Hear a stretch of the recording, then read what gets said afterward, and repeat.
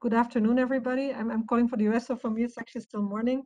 Um, I'm very happy uh, to introduce this next session here um, with really two very interesting papers um, on very, very topical issues, I would say. Uh, one is dealing with trust and monetary policy, and the other one with managing the monetary policy normalization. And I mean, these are topics that are very much into the minds of central bankers in general, but uh, especially in the current environment. Um, and the first speaker who already has a kindly switch on his camera, um, and who I'm very happy to introduce because he was my PhD supervisor, so I, I know him quite well. So I'm very happy to see him, uh, even if it's only remotely.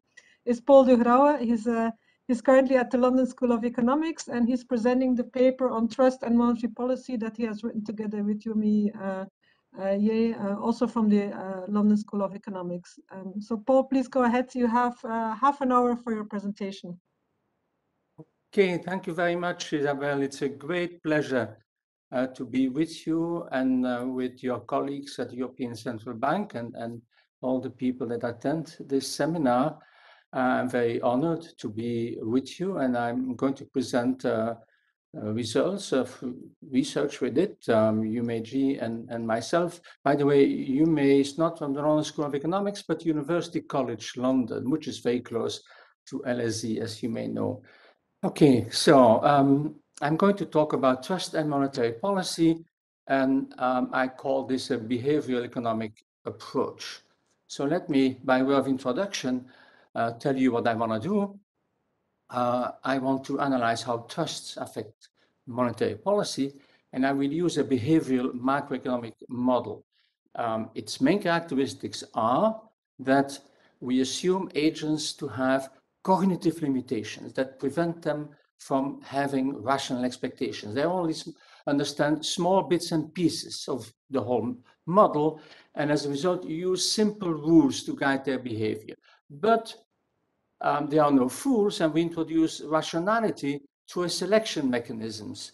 And, and this selection mechanism allows these agents to evaluate the performance of the rule they are following, and they will decide uh, depending on their evaluation of the performance of these rules, to switch to those rules that perform better. So the first part of my um, presentation will be to present very briefly the model and then focus on trust, how we define trust, and what the implications are for monetary policy. And, and finally, I'll say a few things about uh, its relevance for today. So let me first talk about the basic structure of the model. So it's a very simple model in a way. It's a, a new Keynesian model. Um, it has an aggregate demand equation that uh, explains aggregate demand by a forward-looking component, that is the expected future output gap, um, and also the real interest rate is derived from uh, utility maximization. Then the second component is an aggregate supply, a new Keynesian Phillips curve that explains the inflation rate. And there again, there is a forward-looking component. Agents make a forecast about inflation, um, and that then affects um, the, the, inflation rate observed today.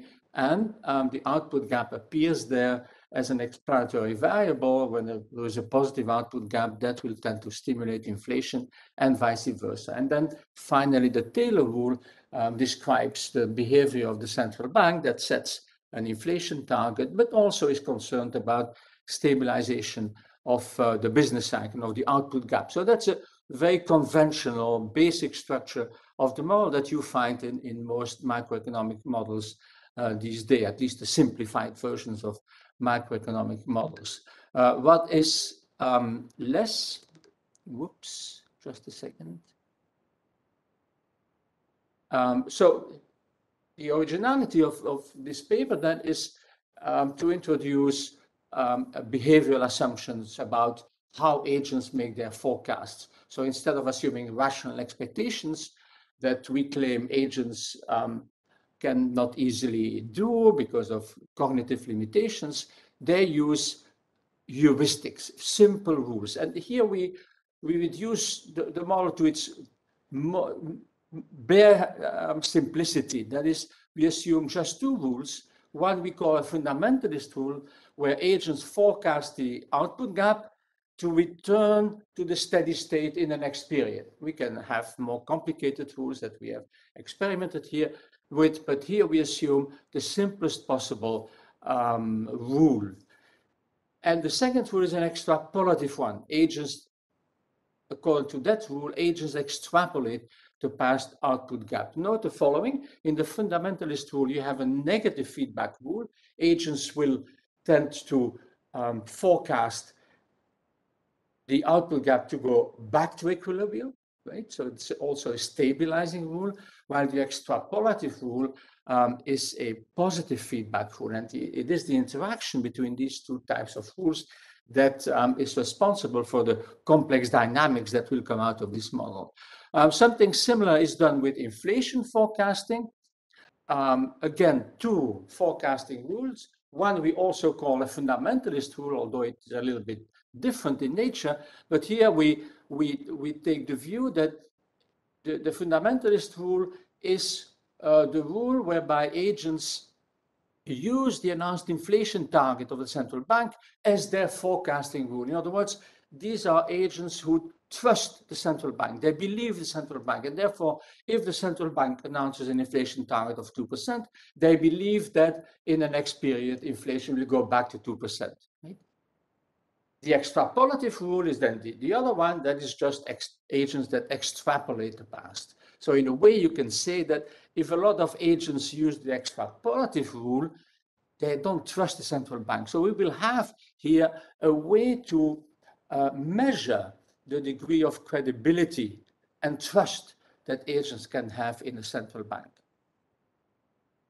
Now, um, that, these are the only equations that I would show you. All the other equations I eliminated. But the market forecasts then are um, defined in, in the, the, two equations that you see there. The, the market forecast of the output gap uh, is a weighted average of these two rules that I just talked about. The fundamentalist rule, where you see ETF, right, the fundamentalist rule, and the extrapolative, extrapolative rule, ETE. And um, these are the weighted averages, and the alphas are then the probabilities that agents will use either the fundamentalist rule or the extrapolative rule. And we have something similar for the inflation forecast, the market forecast is also a weighted average of these two rules, where these beta are then the probabilities that agents choose um, the fundamentalist or extrapolative rule. We can also interpret these, these uh, alpha and betas as the fraction of agents that um, use these particular rules, right? And, and so these alphas and betas are determined by uh, the performance of the rules, and agents are selecting the rules that forecast best. So they will they will switch um, from one to the other rule when they find out that the one that they are using at a certain moment does worse than an alternative. And, and so that's the mechanism that will drive these alphas, right? We use um, discrete choice theory to derive these alphas, but I'm just giving you the intuition here. These alphas will uh, reflect um, how agents um, adjust the rules depending on how well these rules have been doing. Let me quickly define a particular concept that plays a, an important role in this model. This is the concept of animal spirits. You remember what Keynes said about animal spirits.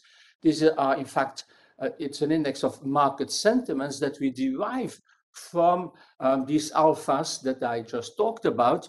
Uh, we can just transform these alphas into um, such an index of animal spirits, uh, which um, we call ST here, and that can vary between minus one and plus one, minus one will be a, a situation where agents, all agents expect a decline in the output gap. ST equal to one, all agents expect an increase in the output gap. In the first case, we will say pessimism prevails. All agents are pessimistic. Uh, when ST is equal to one, all agents are optimistic. And it can vary between the extremes. For example, when it is zero, then there is neutral neutrality. Optimists and pessimists tend to cancel each other out. So this um, is, is an important concept in, in our model to which I, I will return. We calibrate this model using numerical values. of the parameters that we find in the literature. We do a lot of robustness tests that I have no time to, to talk about here. And we simulate it because it is a nonlinear, a highly nonlinear model using IID shocks. So there is no structure at all um, in, in the shocks in aggregate demand, aggregate supply, and the Taylor rule. It's all IID normally distributed with uh, standard deviation assumed to be 0.5, which calibrates the model to represent um, typically quarters, right? So given the, the size of the shocks that we apply, we can interpret these time periods as being quarters. Um, let me just say in, in one minute what the, this model produces as results. So the, the key result of this model is that uh, it produces endogenous business cycles. So we don't have to rely on shocks to produce uh, dynamics of business cycles. Um, and the model predicts that a, a sequence of um, booms and busts that can occur in an unpredictable way. Um, and, and there can also be periods of tranquility where very little happens. And all this is made possible by these dynamics of animal spirits that have self-fulfilling property. Um, optimism can um, start developing that leads to a self-fulfilling um, process of um, increase in economic activity that then leads to more optimism and, and leading to, to booms and busts. And as a result, also, we find in this model that the distribution of the output gap is, is non-Gaussian. It, it, it exhibit, exhibits excess kurtosis, but also fat tails. So there are, there are fat tails that, that occur and that uh, lead to deviations from normal distribution. I will also have the opportunity to come back to this. So let me now turn to the major topic um, of this um, paper, that is trust, right? How do we define trust here? And we, we have two dimensions to trust. Uh, one we call an institutional one. This is the trust in the central bank that has announced an inflation target. Do agents believe the central bank? Do they trust it? And actually, as I told you before, we have a measure of this trust in this beta FT. This is the, the fraction of agents that use the inflation target announced by the central bank as their forecasting rules. So these are agents who believe the central bank. They think the central bank is going to make sure that inflation goes back to 2% if that is the inflation target. And the fraction of agents that uh, use that as their forecasting rule is this beta F. And we will use that also as our measure of trust in the central bank. The second dimension of, of trust um, is trust in the future. And, and here we will use this uh, index of animal spirits, right? Uh, the ST that I uh, mentioned to you, that, that measures um, the degree of optimism and pessimism about the future economic activity. We can get into a situation where everybody has become optimistic, right? And, and see the future to rosy, and, and, and, but this can turn around into pessimism. And um, this uh, index, ST, then will measure uh, this dimension of trust. So the way we analyze the importance of trust um, is, is, in the following way. Um, we, we, we apply shocks. In particular, we will focus mostly on supply shocks, as, as this seems to be um, shock that, that has been important recently. Uh, and we also um, focus on big shocks. Um, by that, I, I mean shocks that uh, are really very large. I will come back to that, what I mean uh, practically. This will be contrasted very briefly with demand shocks, um, and I will also do some uh, sensitivity analysis uh, about the, the, importance of the size of, of the shocks. So here it is. Uh, we, I will present to you impulse responses to these supply shocks. Now, this is nonlinear model, and therefore, for um, the, the impulse responses uh, very much depend on the initial conditions, ex the exact moment the shock is uh, introduced. And, and in order to, to illustrate this, we will compute 1,000 impulse responses to a large supply shock that occurs at a particular point in time. But with each new impulse response we compute, we use a different realization of the stochastic shocks in the model. Remember, the stochastic shocks in the model are the stochastic shocks in the demand equation, supply equation, and Taylor rule. So we, we run um, 1,000 times different realizations of these um, stochastic shocks. And each time at the same point in time, we applied the shock, which is a very large one, uh, which is a 10 standard deviation shock. Now, you may say that's indeed very large. Yes, it is, but this corresponds to actually what we, we had um, in, in 2020 with the, with the pandemic and comes close also to what we had during the financial crisis of 2008 and um, 2000. And, and as Carmen earlier indicated, these shocks were indeed historically very large, right? Um, also, um, these impulse responses are express, expressed as multipliers. So let me now show you um, one of the major results here. This is an impulse response to a large negative supply shock, 10 standard deviation. So the supply shock occurs in period 100, right? So suddenly it occurs there in periods one, period 100. And what you see, the impulse responses, um, there was a great variety in, in these impulse responses. But the, the major uh, result that I want you to, to focus on is that there seem to be two trajectories, right? One um, we have colored green. That's a, a, a, good trajectory. And, and the black one is a bad trajectory. Um, and, and you can see that in, in the bad trajectory, the response of output is much more negative. And also it takes longer for output to go back to equilibrium. The same or something similar is true for inflation. For inflation, you can see that um, in the bad trajectory, um, the shock is higher and it takes longer for inflation to go back to equilibrium as compared to um, the, the green, the good trajectory. And finally, something similar happens with the interest rate. Note that in the bad trajectory, the central bank is actually increasing the interest rate much in a much stronger way than in the good trajectory. So these are the, the, the main features here. So, um, a surprising bifurcation. The same shock occurs at the same time, but initial conditions are different and leading to two very different trajectories, right?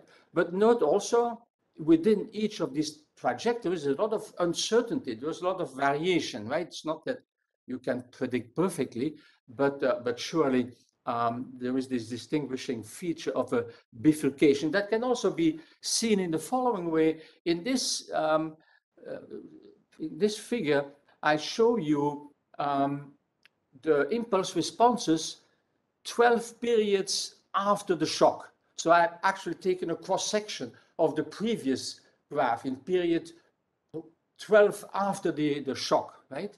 And then you obtain these impulse responses and you can see the bifurcation, right? There are two um, peaks there. So, uh, so you have a, when you look at the histogram of the short-term output response, you have a concentration about um, around minus 1, minus 1.2, and then a concentration much more benign about around minus 0.2. So you you you have this you have this bifurcation, right, uh, that I talked about. And something similar occurs with inflation in in the um, in the bad trajectory, you have a lot of inflation, right?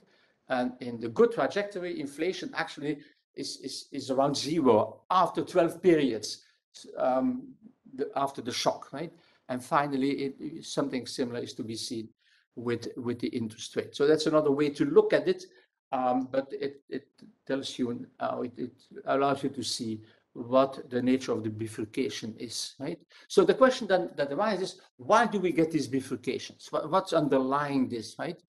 Um, and here this, the bad trajectory is characterized by the fact that immediately after the shock, we obtain a limit solution, right? That is, inflation credibility drops to zero and animal spirits drop to minus one, extreme pessimism. And that means that the mean reverting processes, the negative feedback rule, in the expectations formations are switched off and only the extrapolating dynamics the positive feedback rule is left over. So that's the fundamental reason. So, so you have a very large shock that brings you to the limit solution, extreme pessimism, total loss of trust in the central bank. And as a result, the mean reverting forecasting rules have disappeared. And everybody is extrapolating. And this introduces a destabilizing dynamics that keeps the output gap low and inflation high, right?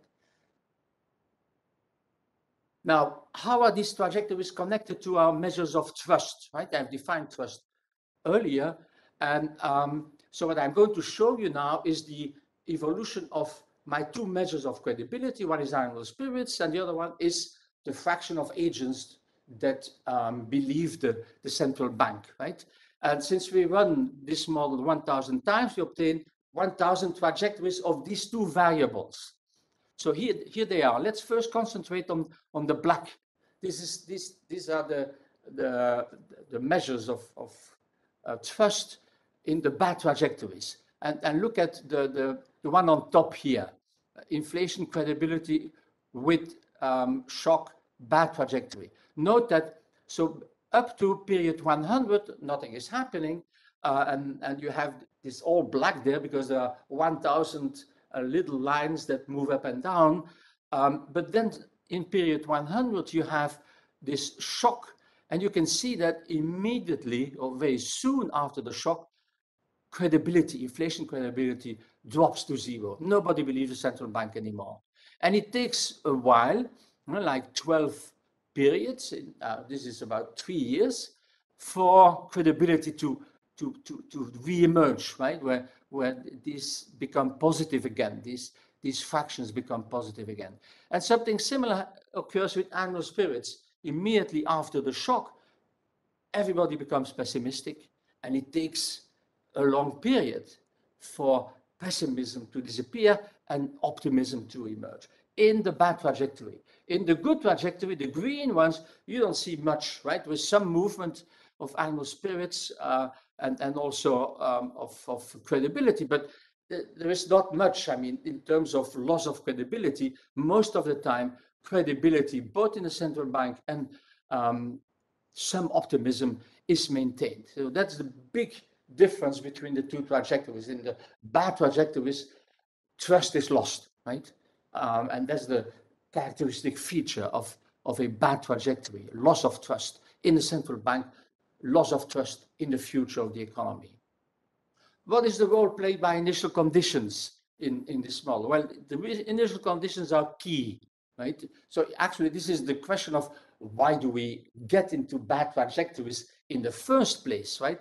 How does the economy get into a bad trajectory? And, and here the answer is, well, initial conditions must be bad. What are bad initial conditions? First, high inflation expectations, and second, low inflation, sorry, output expectations. So high inflation expectations means that agents expect inflation to be above the um, target of the central bank. And these bad initial conditions then make it possible for the large negative shock to push the, the system towards the limits of zero credibility and extreme pessimism. It is because initially you were already in a, in a bad state that the, this large shock quickly brings you to the limit and then uh, reinforces this and, and leads you in, into a bad trajectory. When, in, on the other hand, the initial conditions are favorable, that is, inflationary expectations are low, there is some optimism about the future, then the same negative shock um, will not bring you to the limits of the system. And as a result, mean reverting processes continue to do their work of softening the impact of the supply shock. And one ends up in a good trajectory. So in other words, these initial conditions, favorable initial conditions, work as a buffer, preventing large shocks from hitting the boundaries and preventing a collapse of trust. Because it is initially because things look good, right? Then the negative supply shock, well, it doesn't push you all the way to the, the negative limits that the system then can uh, end up in a good trajectory. And, and you can see that trust here is key in smoothly returning the economy to equilibrium. In, if, in the good trajectory, trust is maintained, and therefore you go back to equilibrium faster um, and then in the bad trajectory. So that is the, the, the, the key message that th these models give us. Let me quickly say a few things about negative demand shocks. I'm not going to go into detail. I'm not going to show you actually any impulse responses. We do that in, in our paper. Um, oh, by the way, before I, I, go to the negative demand shock, let me say that in our paper, we also do much more precise analysis of how initial condi conditions can forecast the future trajectories, right? We, we do some econometrics and all that to, to, to, to analyze this. And we do find that these initial conditions, especially the expected inflation, is a very good predictor of um, whether or not you will go into a good or bad trajectory in this model. Um, so negative demand shocks then, also large negative demand shock, um, we, we get a similar bimodal distribution, but much weaker so there is not much difference between good and bad trajectory. Um, what is the explanation? Well, here this, uh, in contrast to a supply shock, a demand shock does not put the central bank in a dilemma situation. I don't have to tell you what that means, a dilemma situation, right? In a supply shock, the central bank is in a dilemma situation because raising the interest rate uh, will lower inflation at the cost of recession and vice versa if you want to uh, prevent um, a recession.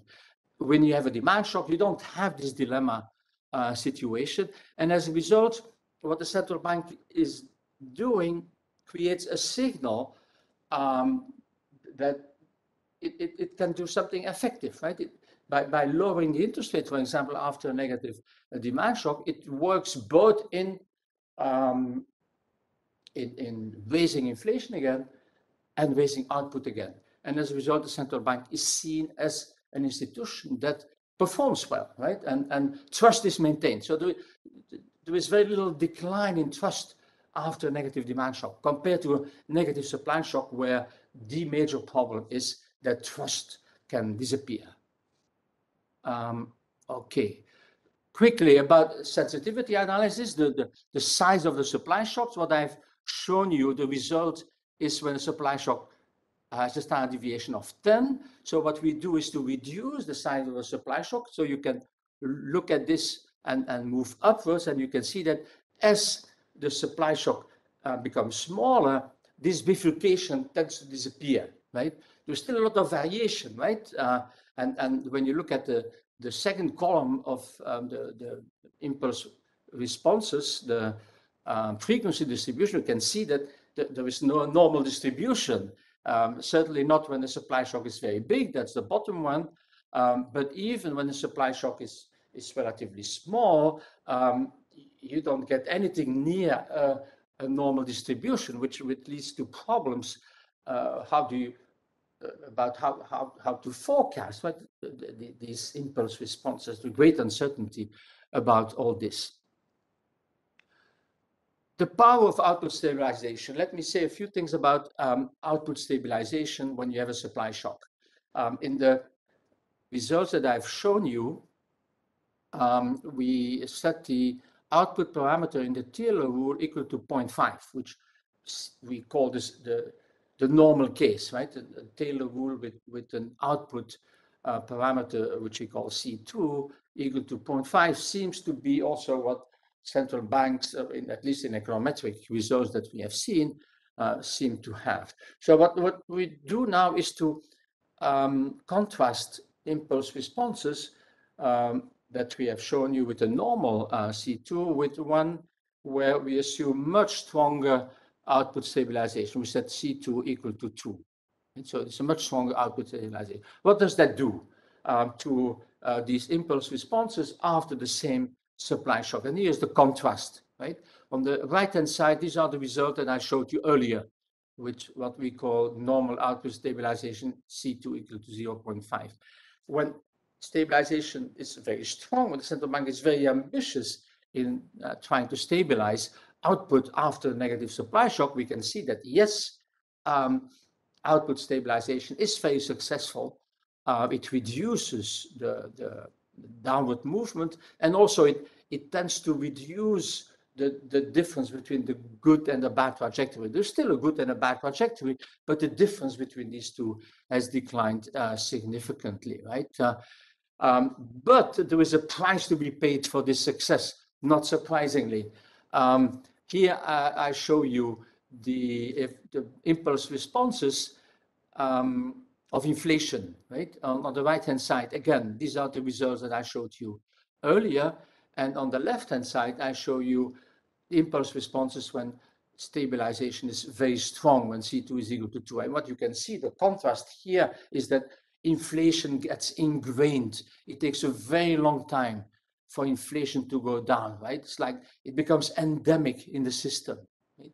Um, both in the case of the good and bad trajectory, of course, it's even worse in the in the bad trajectory, but also in the good trajectory, you can see that there are many green lines that that take a long time to go back to equilibrium. There are some that that do it fast also, right? You can still have, if you are lucky, if your initial conditions were um, good enough, you can still um, end up um, in, in a relatively benign trajectory, but um, um, probability that this happens is relatively small. So this is the, the what, what we find here. Uh, and then finally, what happens with trust under these two output stabilization rules. On the right-hand side, I show you the, the inflation, credibility, and animal spirits under normal stabilization. These are the results that I already showed you earlier. And now contrast this with what you obtain under strong stabilization. And the striking feature is that the loss of trust in the central bank is much longer, right? Look at this graph here, inflation credibility um, in, in the bad trajectory when you have strong stabilization, when the central bank is very ambitious in stabilizing output. Well, the loss is um, also immediate, but but remains very low for a very long time. So trust is lost for a very long time. Um, and something similar occurred with, with animal spirits, right? Conclusion. So we conclude that negative supply shocks create important threats, threats to trust in a central bank and in the economy. All the more so when central banks pursue aggressive policies of output stabilization. This is much less the case with demand shocks for the reasons that uh, I've given you, right? Uh, which has to do um, with the fact that uh, when there was a negative demand shock, there is, there's no uh, dilemma, and therefore the central bank is perceived as being successful. With a supply shock, um, central banks are in a dilemma situation that prevents them from successfully destabilizing the economy. And if you then try harder, it only makes matters worse, right? So that, that's a key insight. Some relevance of our results, let me conclude with that. Does, does all this have some relevance, right? Um, here it is. Uh, um, in, during the 1970s, we had large supply shocks um, so I will contrast the 1970s with the more recent COVID supply shock. Um, and in, when you look at the 1970s, there had already been a significant buildup of inflation and inflationary expectations when the supply shock occurred. In fact, this happened during the second half of the 1960s. And then our model predicts that given these unfavorable initial conditions, the recovery would take a long time. And this is exactly what happens in many countries um, that had a prior history of significant inflation, um, especially after the second oil shock of 79. It took a long time for the world economy to recover. This was not the case with the supply shock of 2020, which was preceded by a period of very low inflation and low inflationary expectation. And then our model predicts that recovery had to be, could be quick, right? Um, and, and that's exactly what happened. It also allowed central banks that did not have to worry much about inflation expectations um, to, to actually follow expansionary policies, right? And, and the recovery in 2021 was quite strong. But then unfortunately, a new shock occurred in 2022. And, and, and here, what, what does our model tell us? Uh, that's a final, um, not very uplifting thought for you. Um, when the Ukraine shock occurred, the initial conditions have deteriorated significantly, right? And this creates the risk that we may be hitting a bad trajectory in the future um, with a strong decline in trust, high and long-lasting inflation, a deep recession, and central banks that are forced to increase interest rates to very high levels. Thank you for your attention. Thank you very much, Paul, for this uh, very nice presentation. A bit uh, less uplifting message at the end, but uh, this is the reality that we're facing. Um, the discussant of the paper is uh, Natacha Valla. Um, she's currently at Sciences Po, but she's a very well-known face at the ECB. She was, of course, uh, working in monetary policy department also at the ECB not so long ago. Please go ahead, Natacha. Thank you very much, Isabel, uh, and thanks for, for the invitation to this conference, which is close to my heart, I have to say. Uh, and, and I guess you know that. I, I don't know, I don't know if you, I'm, I'm sharing my slides now. Thanks for the opportunity to, to, to, to comment the paper. And thanks, Paul, for the presentation. I have to say that after your talk, I see the paper a bit differently, but I still find it paradoxically quite refreshing despite the gloominess of the charts that you showed us and the gloominess of your conclusions.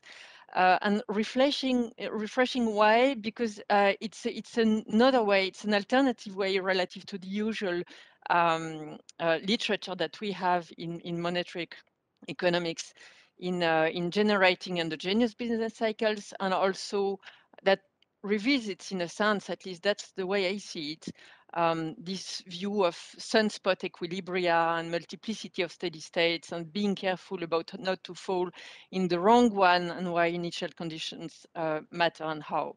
So I think this is a, I mean, a, a, a, a novel approach and, and I think it's a good start um, for, for, for a new trend in, in the literature.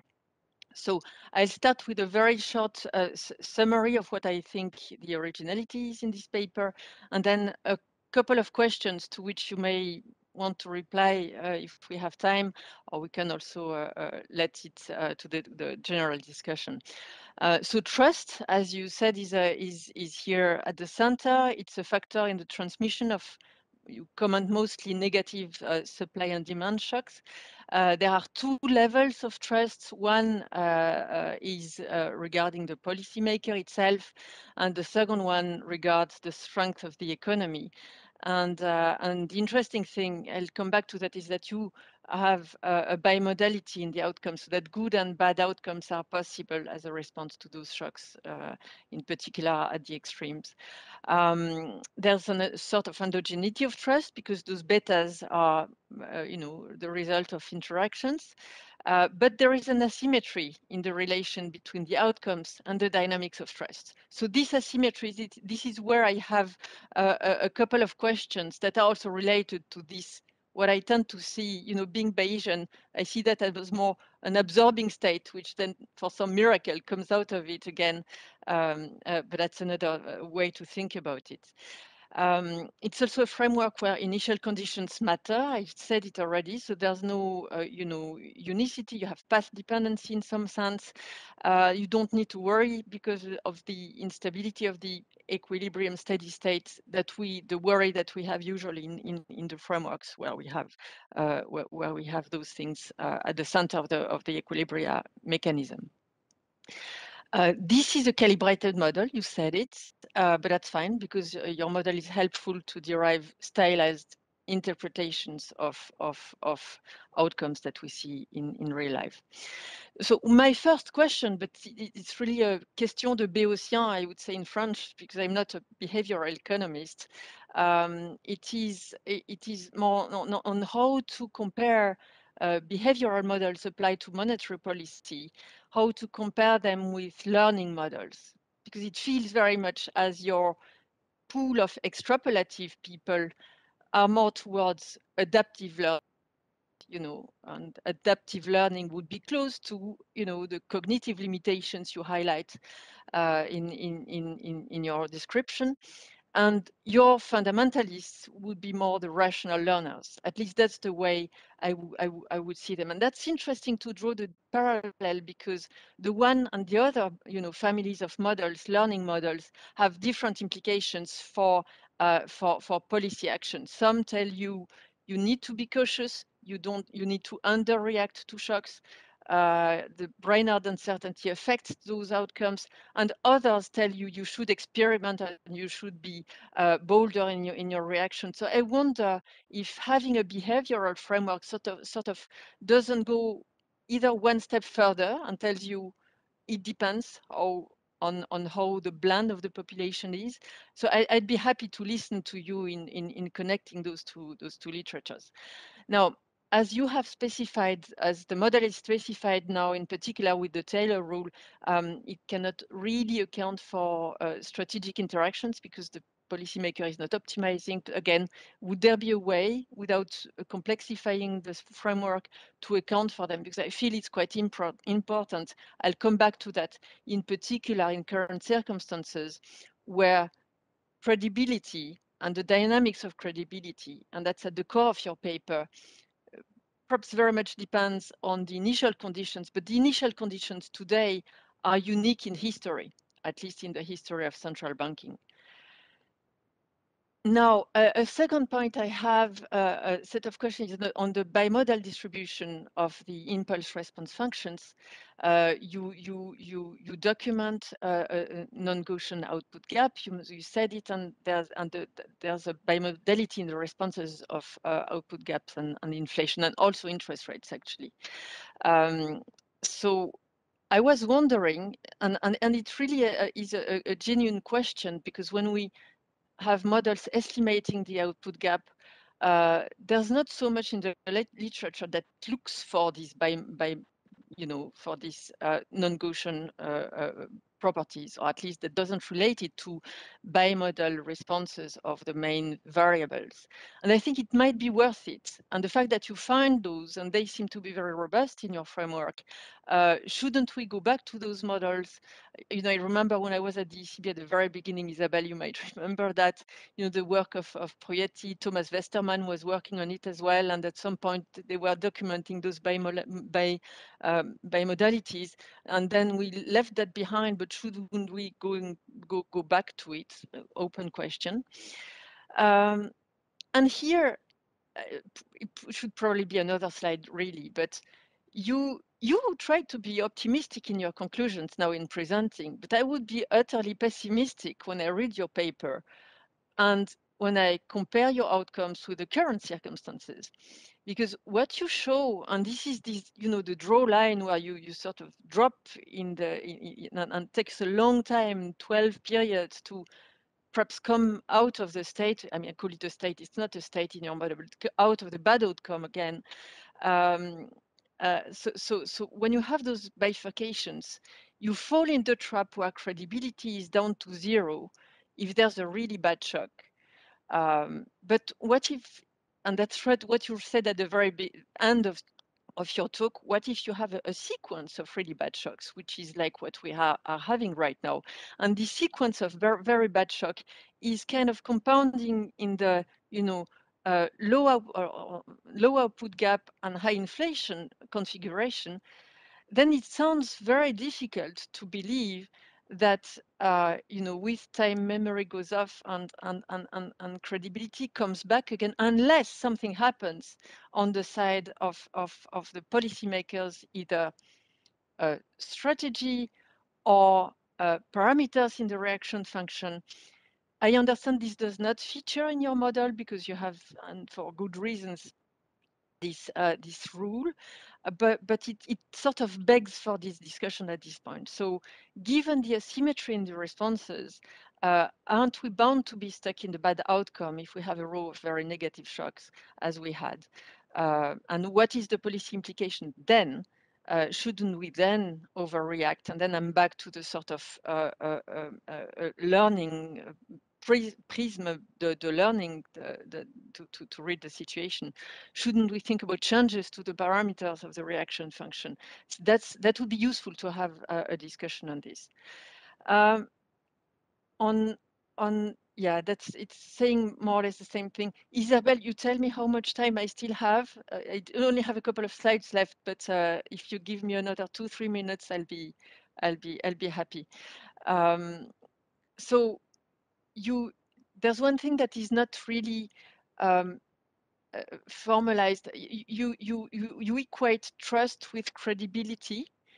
Um, but again, there is this ambiguity, trust with credibility and trust with optimism and confidence. And I think here um, it, it is key not to blur, at least on the side of, of the trust uh, that has to do with the policymaker ability to reach its objective, uh, not to mix this credibility and optimism uh, interpretation of trust. I don't know if I'm clear on that, but I, I think uh, in other modeling approaches that would be uh, in the equation. Here it is not, and, and those are two different, two different objects. Um, and the last thing, really, uh, the relationship with the optimal policy literature. That's also a very tempting link that we would like to make, and, and it would be useful for you to link, connect your results uh, with, with, this. Um, in the current circumstances, we also have, but that's that's probably too far from what you're after. Uh, the, the, the, more specific question among supply side, side shocks of oil-driven supply shocks, uh, because it was specified the, supply shock as a, as a relative price shock, and, and that could be also interesting. Uh, but I think placing this, because it, this is also a very long tradition, this optimal policy literature, uh, in relation to the shocks we see right now and the inflation environment that we have right now. So it would be useful to place it in, in, in this sort of, uh, uh in this tradition. There's one um, paper which I found relatively relevant to your, your, your, your um, the question you ask in your paper. It's the, the, the paper in the IJCB. It's a, a bit old now, but uh, I think it's still valid of Baeriswyl and uh, Camille Cornand uh, on, on transparency and communication. You know, what the optimal response to cost-push shocks um, is and, and the fact that it may depend on, on, on the central bank communication and on disclosure uh, in their paper, both signs are possible. So you, you, you can really go both ways. Uh, and I think this link, um, this interpretation of trust and the ambiguity I saw in on the side of the policymaker uh, trust, uh, trust towards the policymaker might also have to do with uh, communication, with openness and with disclosure of preferences. Um, initial conditions matter uh, as every economist, I, I, that's a very important point uh, because you have this path, this starting point dependency and probably also path dependency. Uh, and it would be useful to have the eco economic rationale uh, uh, it. You have it, and, and in your presentations you were very clear. So maybe I need to look again at the paper, uh, but that's that, that's also important it reminded me of, of, of the paper by Caballero uh, uh, that recently that looks at, um, of, uh, at temporary supply shocks. So this is not, I understand this is not something you look at, the, you know, the, the, the persistence of shocks, but um, it, it's a good comparison point uh, on, on, on, uh, on those initial conditions because they look at it again uh, as well. and I'm done, Isabel. Thanks for your patience and I will stop uh, sharing the slide, the, the, the screen. Thank you. Um, thank you very much, Natacha. There was uh, quite a number of questions and we have uh, limited time, but maybe I give uh, the chance to Paul to, to already react uh, to, to some of the questions. And I see meanwhile if in the chat uh, questions come up from the audience, but Paul, please go ahead. Thank you, Natacha, for your thoughtful comments. Um, I interpret many of these to be suggestions for um, further research. Um, and I think uh, you, you point out to some important issues um, that um, we may want to, to um, discuss and, and analyze and, and, research in the future.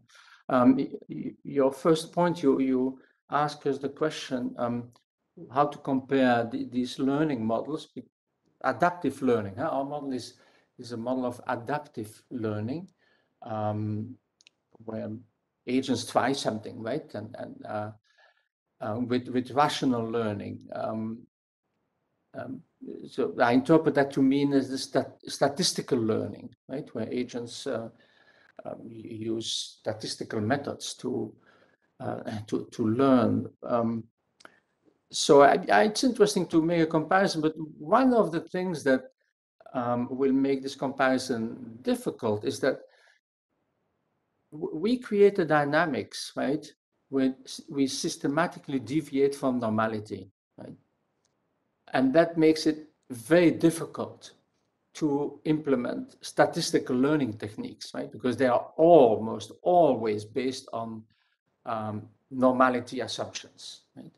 Um, another way to, to put this, when you look at these impulse responses that we generate there, the bimodality, um, this creates a, a, fundamental problem of ambiguity. You have a shock, but uh, agents don't know what to do because the shock has ambiguity effect, yeah, ambiguous effects. Where shall we end up?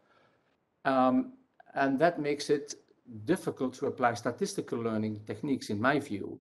Um, and, and, and maybe the more rational approach then is to have adaptive learning, where you say, well, I don't understand the world um, sufficiently, and I, I, I observe that the world is not normally distributed, maybe we have to rely on other learning methods. But here, I, I, I don't want to be dogmatic, you know, um, and if you can convince me that uh, we, we should we should use these um, other learning methods, that's that's okay with me. Um, you you asked the question what about the sequence of bad shocks? Actually, we looked at that recently. We have now um, done simulations. We are preparing a, a new paper where we have a COVID Ukraine shock, we call it. And yeah, that's bad news, I can tell you. um, it's it's it's not funny to look at these these shocks, as you mentioned, right? You you are quite pessimistic. Um, what what might happen in a model when you have a sequence of bad shocks um, in in that way?